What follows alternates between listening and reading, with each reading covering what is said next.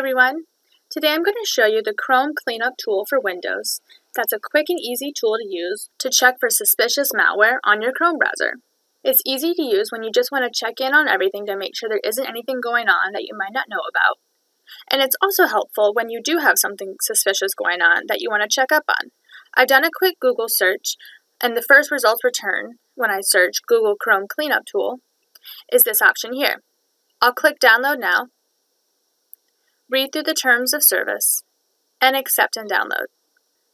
Now, this tool basically does a background check to look for a list of programs.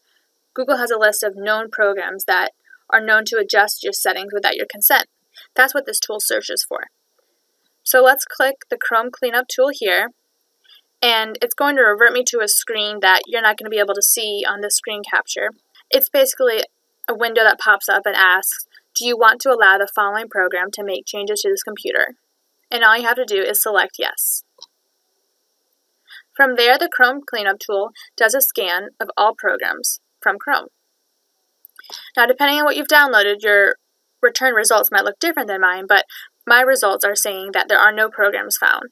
I'll click Continue here, and I'm taken to my Chrome settings, where I'm prompted to reset them to start from scratch and have a clean slate. You'll click this, and now your Chrome cleanup process is complete. It's a good idea to do this Chrome cleanup whenever you can, just to make sure nothing's going on that you don't know about. Hope you found this tip helpful, and we'll see you next time.